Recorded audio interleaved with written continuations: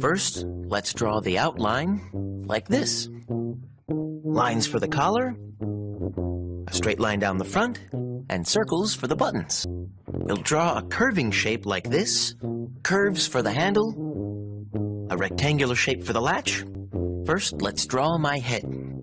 Then a line that goes down and around for my body, a spiral for hair, eyes and the mouth, circles for hands, lines for the squares on my shirt, legs and feet,